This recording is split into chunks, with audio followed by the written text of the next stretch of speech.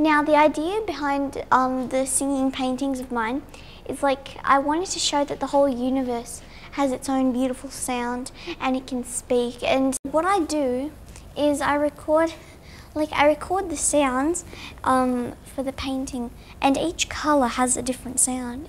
Like at some points, like this point has the sound of birds, and this one has the sound of a flute, and then this one has the sound of a horse. This area, and um, I recorded my own horse sound that I did myself for the touch painting.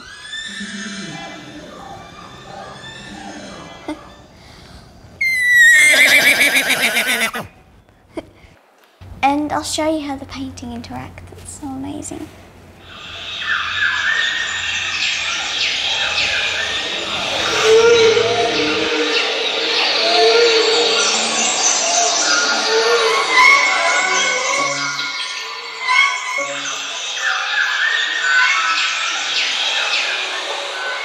We're using latest technology to do that, so I think it's really amazing.